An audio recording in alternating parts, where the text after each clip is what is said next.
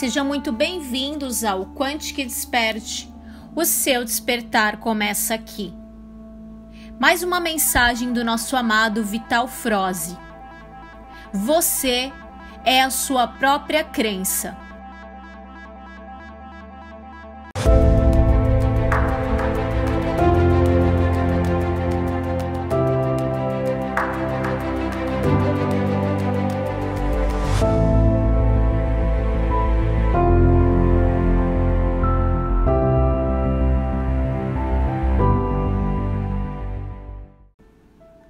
Amados, uma vez que o planeta Terra esteve até aqui, vibrando em energias de terceira dimensão, naturalmente toda a humanidade viveu um período ilusório, longe da realidade que existe nos universos infinitos. Na verdade, todos os espíritos que aceitaram a experiência submetidos ao véu do esquecimento, sabiam de antemão todas as condições que seriam enfrentadas aqui. A ilusão nada mais é que a subtração da consciência. Segundo estudos científicos, as pessoas utilizam somente uma mínima capacidade de sua consciência, ou seja, de 1 a 5%. Só para ter uma ideia, Einstein conseguiu usar até 10% e por isso foi considerado um gênio. Com essa utilização mínima de seu poder de raciocínio lógico, o homem vive e pensa de forma muito limitada. Basicamente, para ele, tudo se resume ao que ele acredita por isso, foi muito mais fácil para os arcontes obter o domínio total da humanidade. Criaram um mecanismo de controle perverso e total sobre todas as consciências humanas. Aquilo que conhecemos como ciência, religião, ensino, saúde e doença, política, profissões e o que você mais quiser imaginar, foi gradativamente implantado na consciência limitada e desenvolvida como uma crença e como verdade absoluta. Através da crença coletiva, criou-se uma dependência quase total sobre tudo o que foi ditado pelo grupo dos controladores da humanidade com o surgimento da imprensa escrita e depois a rádio televisiva, ficou ainda mais fácil dominar a massa humana. Com o passar dos anos, as tecnologias ajudaram no desenvolvimento e facilitaram, de certa forma, todos os segmentos de produção, serviços e consumo mas ao mesmo tempo criou também uma dependência quase total. E a consciência ficou ainda mais restrita, pois com as máquinas pensantes, quem foi ficando cada vez mais robotizado foi o homem. Assim, a holografia projetada nem sequer foi percebida Quanto mais a humanidade deixa de pensar e raciocinar, menos percebe as imagens holográficas que são colocadas como horizonte em sua frente. E assim estava caminhando a raça humana, conduzida como animais no brete que leva ao matadouro.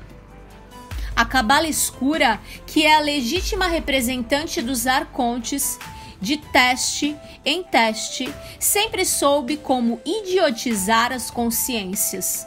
Embora o tempo todo ela esteja no controle absoluto da situação, foi na Segunda Guerra que se resolveu fazer um teste prático, com a falsa promessa do Estado em proteger os cidadãos de um perigo que ele mesmo inventou conduziu 6 milhões de judeus às câmaras de gás, todos obedientes em fila, como crianças no pátio de uma escola primária.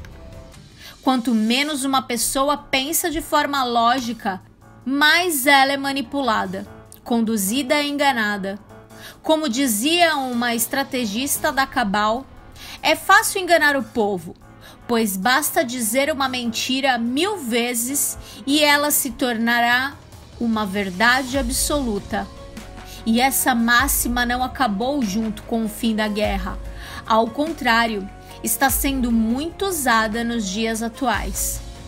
Os escuros já sabem que o seu reinado acabou, pois as leis divinas sempre estão aqui acima de tudo. Mas a humanidade persiste na sua cegueira Sabendo disso, e na tentativa de permanecer por mais tempo no comando e controle da Terra, criaram mais um pretexto para conduzir a humanidade ao matadouro. Modificaram em laboratório um vírus e espalharam rapidamente pelos confins do planeta usando de todos os meios de manipulação possíveis e imagináveis pela limitada consciência humana. Em poucas semanas, o mundo se colocou de joelhos perante a um inimigo invisível. O teste funcionou para o fim que se propôs.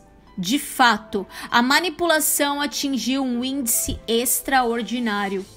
As crenças limitantes impostas como sempre, e provadas através de holografias, mostraram que o controle está mantido e comprovado. Mas também mostrou que quase 30% da humanidade já despertou e nenhuma holografia vai enganá-los.